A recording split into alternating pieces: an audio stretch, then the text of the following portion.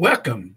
It's that time again for another segment of In the Know Sunday School Lesson Review for Sunday, March the 31st, 2024. Happy Resurrection Sunday. If you are new to my channel, my name is Elder Chris Eady, and I try to deep dive into the church school lesson each week. And if you find this study helpful, informative, and enjoyable, please let me know by clicking that like button and subscribe to my channel if you have not already. So, without further ado, let us pray before getting into the Word of God.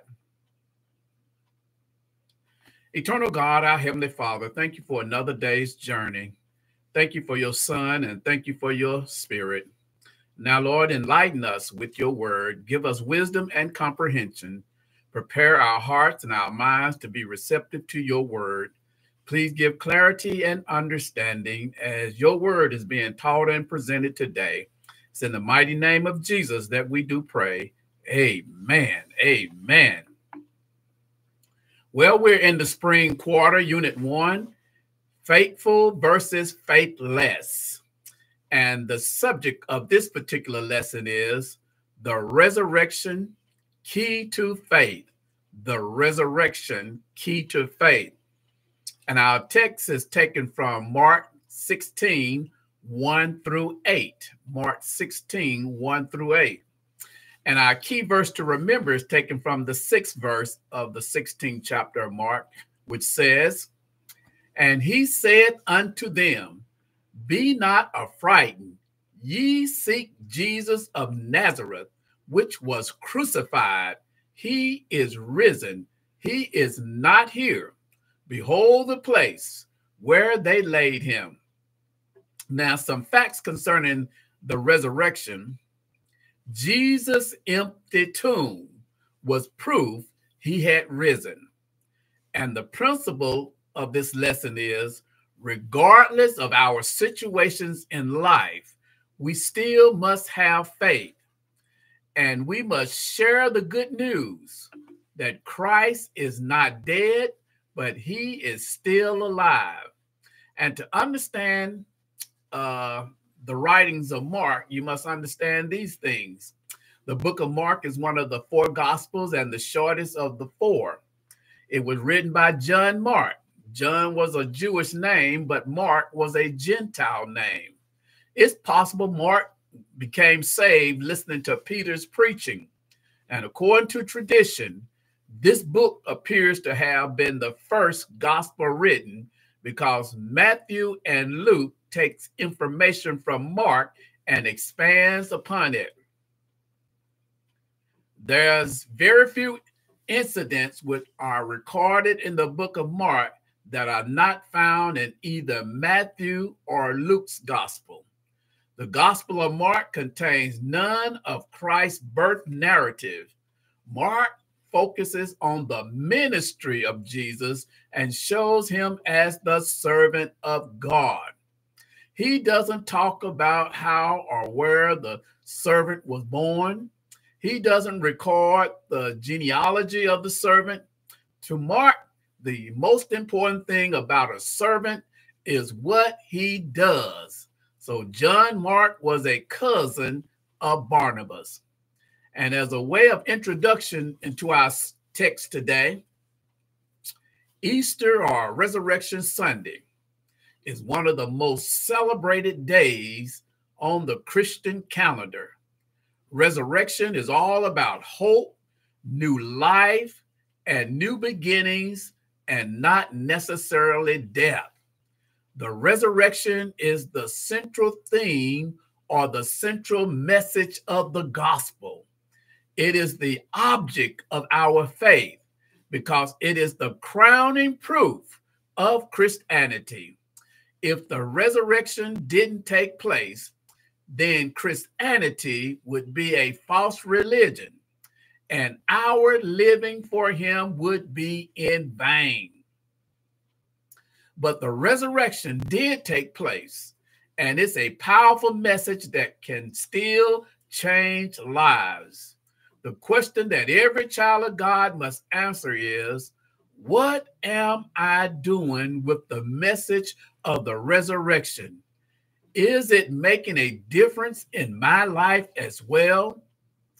If we want to make a difference in our homes, in our churches, in our communities, as well in the world as a whole, we must be willing to share the message of the resurrection with everyone that we come in contact with.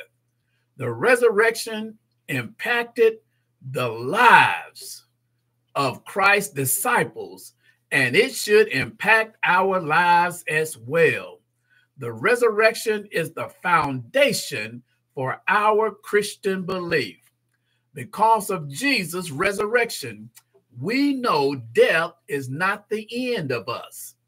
Jesus' resurrection confirmed that he's more than a good teacher, he's more than a spiritual leader. It confirmed that he is the Son of the living God. And resurrection means to come back to life after having once died. Jesus himself resurrected Jairus' daughter, the widow's son, as well as Lazarus. The Bible uses the word resurrection in three different contexts. It refers to the miraculous raising of the dead back to earthly life. It refers to Jesus' triumph over death and the grave. It refers to the eschatological resurrection of mankind at the end of time. So, this brings us to the first section of our lesson outline entitled The Faith of the Woman at Their Arrival at the Empty Tomb.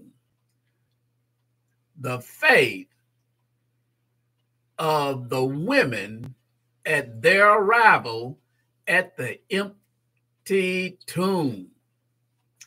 And on that resurrection morning, no one really was looking for a risen Christ. The disciples were locked away behind closed doors, fearing that the Jews might come and kill them Later on that day, a couple of disciples was walking to Emmaus, talking about what happened and how terrible things had turned out. And before sunrise, a few loyal and faithful women went to the tomb to anoint the body of Christ. They too thought he was still dead. They came to finish the work Joseph had started, and that was to complete the anointing process for a proper burial. According to Mark, in verse 1, it was Mary Magdalene, Mary, the mother of James, Salome. There were the brave and courageous women that got up early in the morning to finish a work Joseph and Nicodemus had started.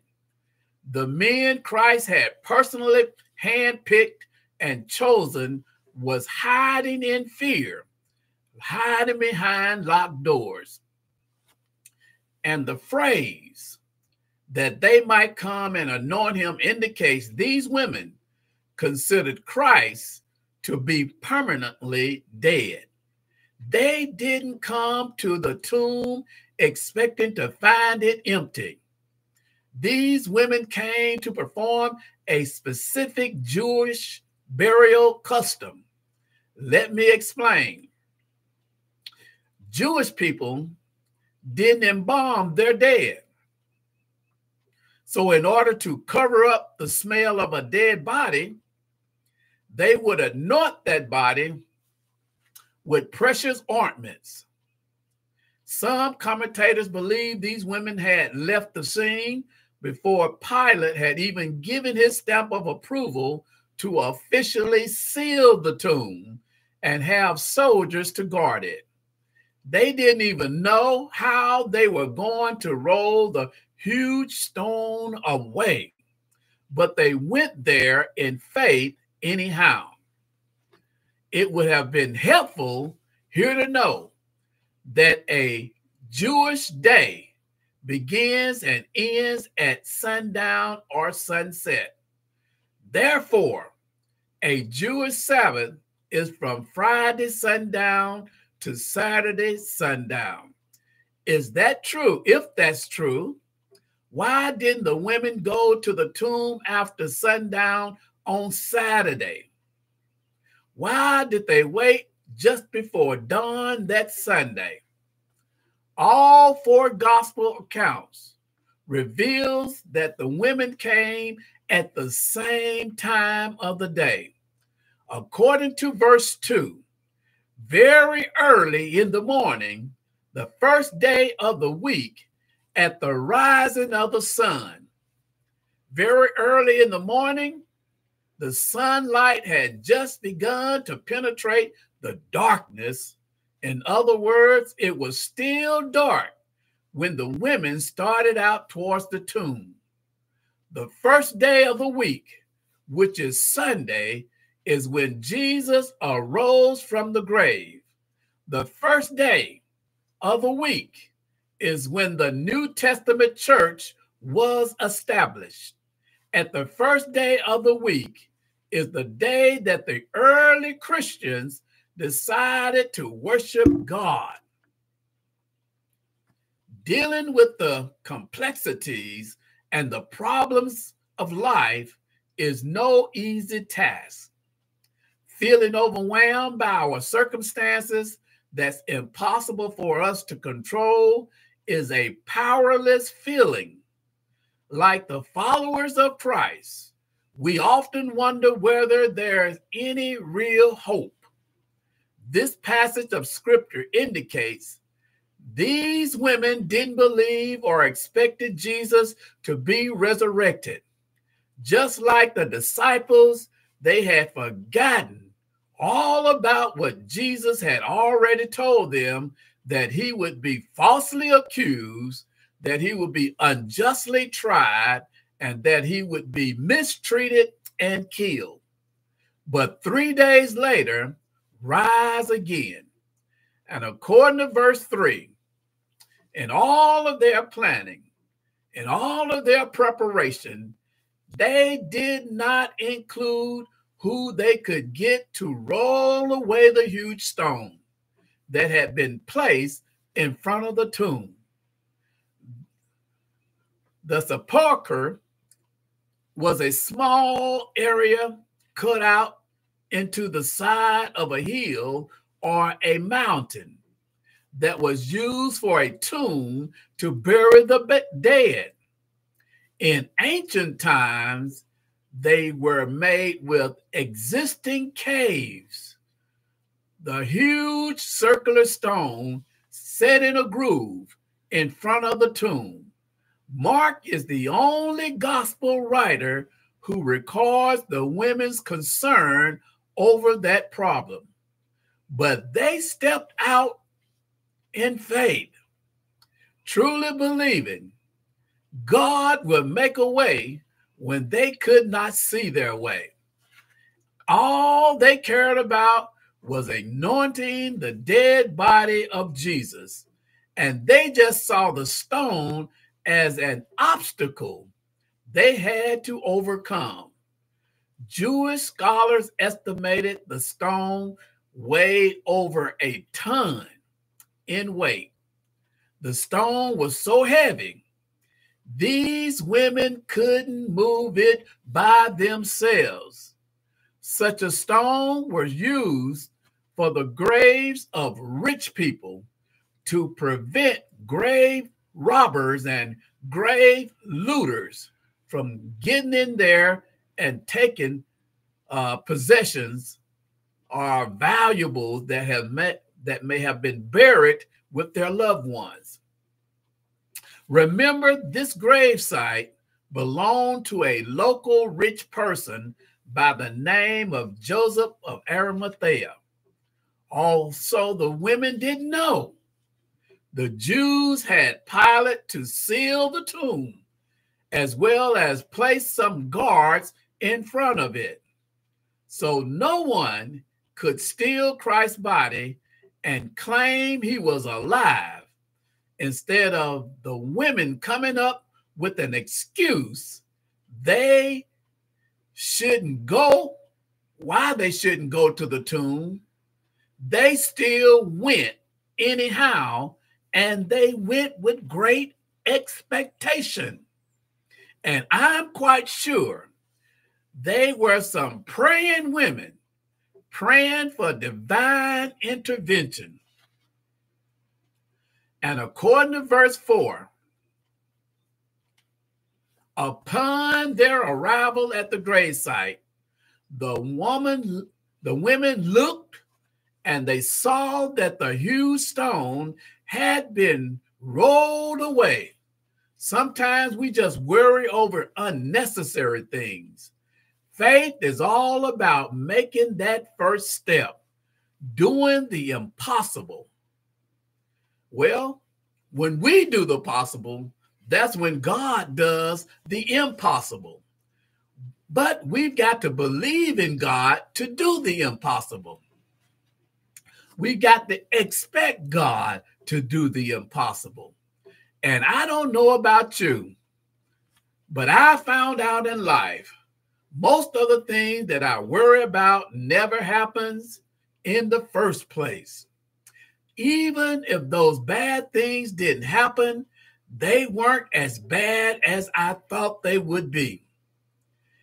Here were these women who had probably worried all night long concerning how they were going to deal with this heavy, huge stone and the problem had already been dealt with before they even got there.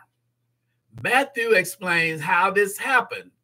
And behold, there was a great earthquake, for an angel of the Lord descended from heaven, came and rolled back the huge stone from the door and sat upon it. Obviously, the stone wasn't rolled away in order to let Christ out, but the stone was rolled away in order to let the women come in to see that he was not there. For it was very great, is basically talking about the stones was so large they couldn't they could see it had been rolled away from a distance. Even before they got there, they had seen that the stone had been rolled away. These things contributed to the resurrection, uh, to their resurrection faith. Faith doesn't re- rest on speculation. Faith doesn't rest on our opinion but it rests on truth and it rests on biblical facts. Living in this materialistic world, we allow many spiritual stones to separate us from God. They block the door to our hearts, and it keeps us from loving Jesus the way that we should love him we must pray and ask the Lord to remove these stones so we can faithfully follow him. Then we find in verse 5 realizing the stone had been rolled away, the women entered into the sepulchre. This is a reference to the tomb outer room that led to the inner burial chamber, it was there they saw a young man sitting on the right side, clothed in a long white garment. Matthew says this young man was an angel. Mark says this was a young man. Luke says there were two men, but this is no contradiction they were all inspired by the Spirit of God to write their account of the story. If you ever interview more than one witness to any event, you rarely get exactly the same details. If every witness tell the exact same story, one first thought is they got together to collaborate their stories.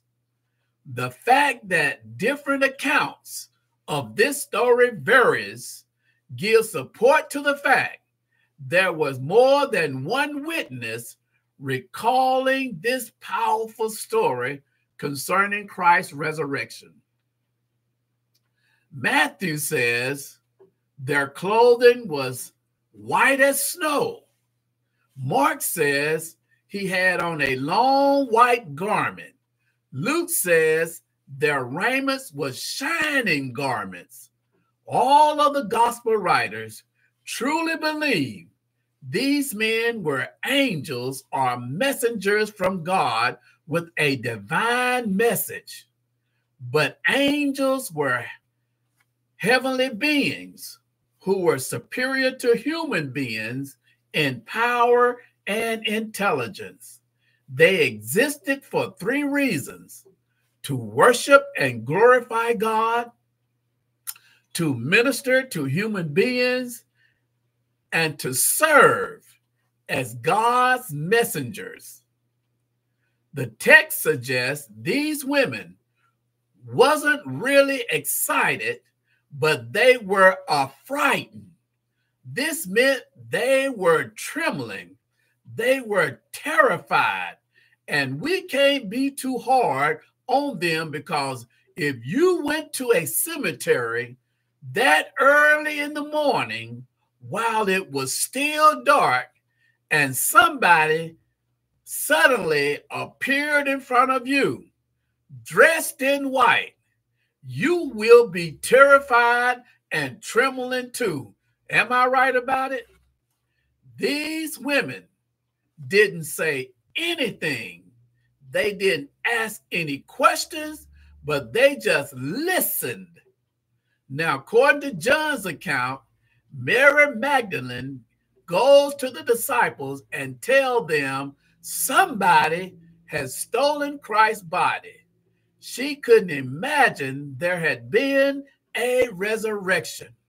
And this brings us to the second section of our lesson outline entitled The Faith of the Women After the Announcement of the Angel at the Tomb.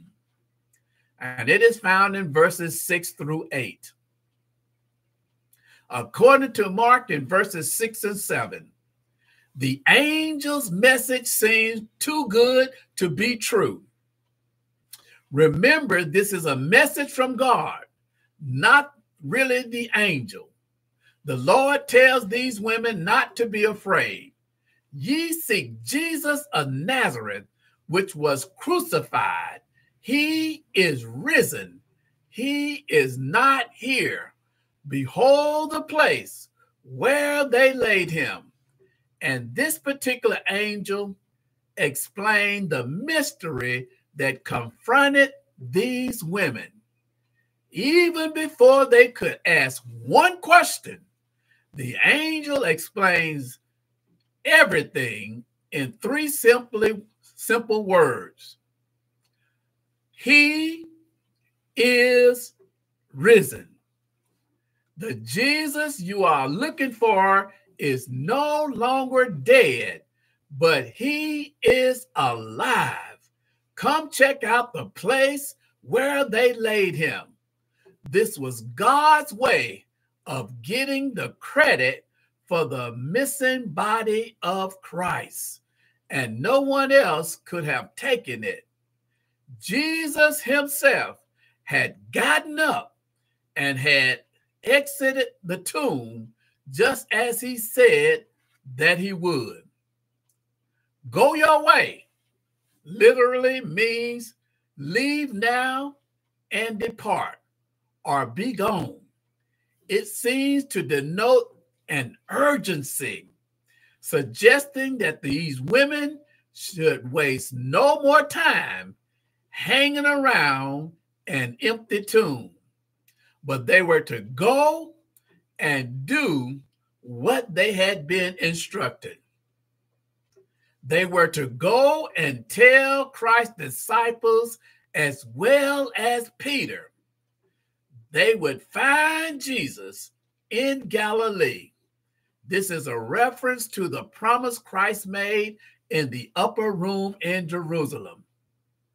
Think of the last time those disciples saw Jesus. Think of how they responded and what was probably going through their minds, especially Peter's. He had denied knowing his master and his Lord three times. Even though they may have considered themselves a failure, Jesus did not give up on them. Even though they didn't support him when he was going through what he was going through, that he didn't stop encouraging them. He kept on reaching out to them and trying to console them because he knew he was not going to be with them very much longer. God the Father sent a message too good to be true. Jesus was going ahead of them to Galilee, and he would be waiting for them there. Eventually, our Lord and Savior had already forgiven Peter before Peter had even asked for forgiveness. Resurrection faith, like all faith, is only found in God.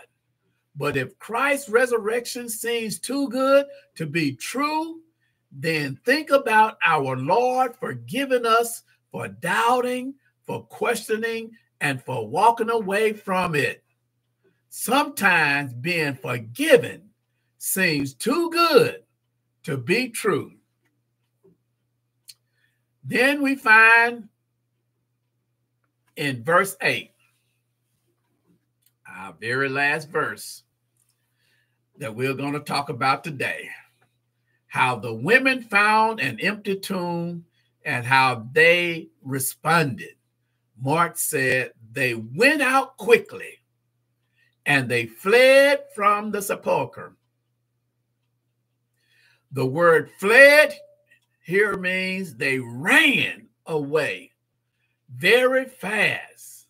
It's the same word used in Matthew 26 56 when the disciples fled in the Garden of Gethsemane. These women fled from the tomb in the same manner that the disciples fled when Jesus was arrested in the Garden of Gethsemane. At the empty tomb,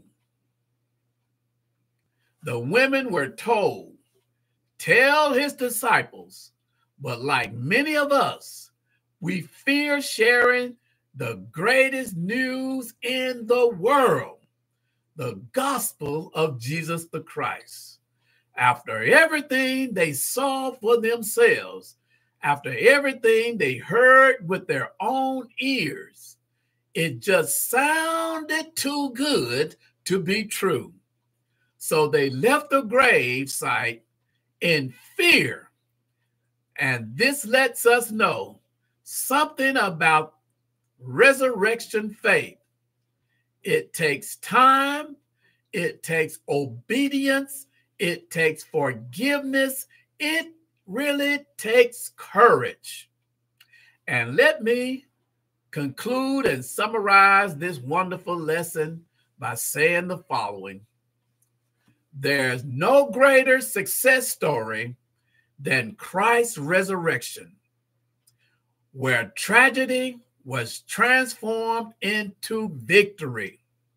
The essence of the gospel is that Christ died for our sins, that he was buried, then he was raised from the grave to never ever die again. Where do you stand, my beloved, today? in regards to your resurrection faith, do you believe is Uh, this is a very powerful, powerful story. Do you believe in what Christ did? Do you believe in what the women saw and what they heard? Have you read the scriptures and considered everything Jesus had said about his death, about his burial, and about his resurrection? If you have read and believed, thank God today that you have some resurrection faith. Now, once again, you are in the know of our Sunday school lesson entitled The Resurrection Key to Faith. And if this lesson has benefited and blessed you, please let me know by clicking that like button. Leave a comment if you desire and share it with others and subscribe to my channel if you have not already. Once again, thank you for tuning in and watching. As usual, let us close out with prayer. Eternal God, we thank you for raising your son from the dead. We thank you for his death, his burial, and his resurrection. It's because of Christ all of our sins can be forgiven, and we have been given another opportunity to have a right relationship with you. Help us to experience his resurrection power each and every day of our lives. Is in the mighty name of Jesus the Christ we do pray. Amen and amen.